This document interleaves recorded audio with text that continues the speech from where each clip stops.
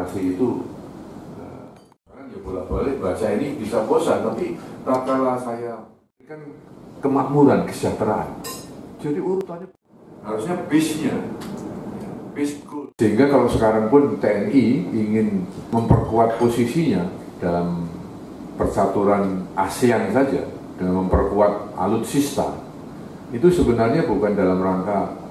menghadapi ancaman-ancaman agresi sebenarnya, tetapi sebenarnya lebih lebih kepada